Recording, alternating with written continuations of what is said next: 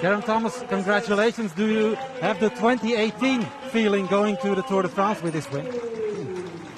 Oh, I don't know about that, but it's just nice to, to get the win. You know, it's been uh, from the tour last year to the end of the season was really hard. One of the, probably the hardest block period of my career.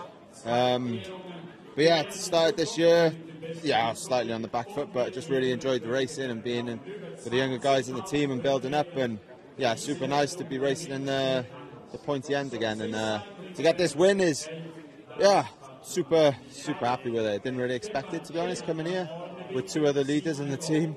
Um, you know, and doing lead outs and stuff earlier in the week. But um, yeah, really happy to to finish it off well today. You even came within seconds of the stage win. Yeah, to be honest, I'm a bit disappointed I didn't win the stage. Uh, I didn't realise how close it was. Didn't really get the time checks on the radio, and um, yeah, it would have been nice to have gone for that. But you know, I can't be too greedy. It's nice to win the overall. So. One last word about the circumstances today in the heat with the wind. Oh, it's been super hot all week. You know, I think uh, that's been the biggest challenge is dealing with that. Um, and for sure, the hottest race we've done consistently. You know, with day in day out, super hot. So um, yeah, it's definitely a big workload this week.